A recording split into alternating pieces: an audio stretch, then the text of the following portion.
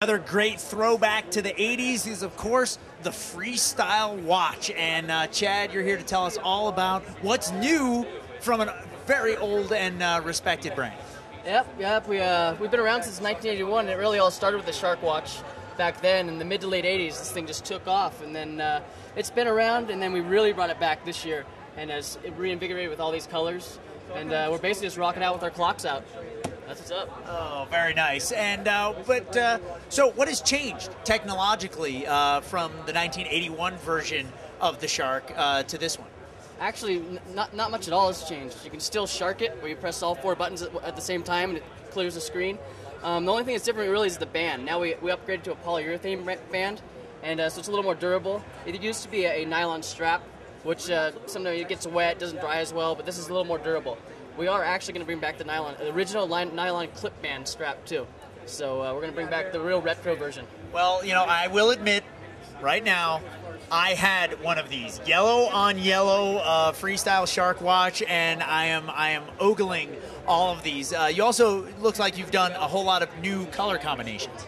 Yeah, we've just kind of gone all over the map and just just uh, looked out there a lot of the, what the clothing companies are doing and uh, and just try to pick some really cool colors, do some different stuff that maybe other companies aren't doing, so we can just kind of stand stand apart. Chad, thanks so much. You got it. As businesses and governments across the country eliminate uh, bottled water for their employees, well, people have to have a way to carry their fluids, and the folks at SIGG have been doing it for 100 years. And uh, Kathleen, thank you so much for uh, joining us. Tell us a little bit about SIGG. Well, SIGG bottles, they were started in Switzerland 100 years ago, as you said, uh, by a man named Ferdinand Sigg, and he saw aluminum as the way to the future. So we've been producing aluminum bottles. We originally started making them for the Swiss Army, and now we've come all the way to our 100 year bottles. We have a series celebrating our 100th anniversary this year.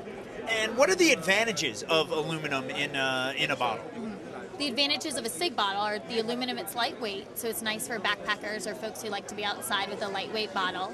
We also, SIGG bottles have a special lighting on the inside where it's non porous, so it doesn't hold on to taste, flavors, or odors. So you can put tea, juice, water, milk, and switch the beverages, and it's not going to hold on to a taste in your bottle.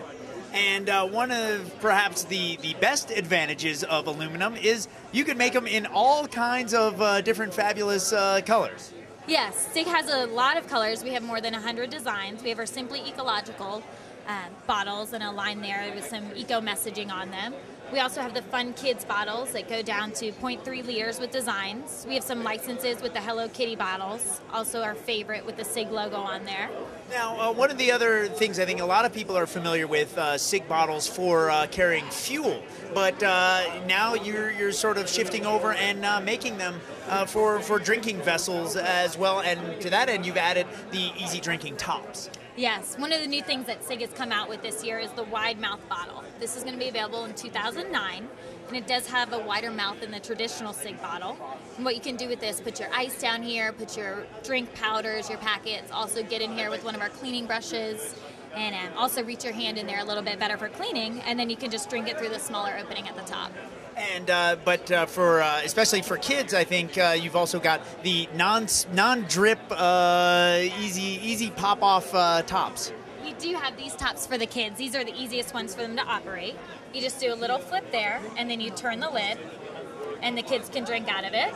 The lid also does come all the way off too, so you can get in there and clean around with a brush. That's uh, definitely, as somebody who has a small child who likes to grab onto her SIGG bottle with grubby hands, being able to clean it fully is a great advantage. Now, uh, people can pick these up uh, all over the country, but uh, where can they see all of these designs in, in one place? Uh, what's the best place, you know, to, to find the bottle that's just right for them? The best place besides our retailers such as Whole Foods Market, REI, EMS, Dick's, uh, we also do have a web shop at www.mysigg.com. The website, we have it temporarily closed down at the moment. The demand for SIGG bottles has exceeded the supply, and so what we've done, we've closed the website temporarily, and uh, we're offering that bottle to our retail partners. So they should be well stocked with them, and the website should be back up and running again soon. Now, is the demand so high because, you know, earlier this uh, year we had this uh, BPA uh, plastic uh, scare, and so people uh, came running over to aluminum? That was part of it. Um, as people realize that they don't want to use the disposable bottles and make the switch to the reusable bottles, uh, people had started to make the switch to SIGG already.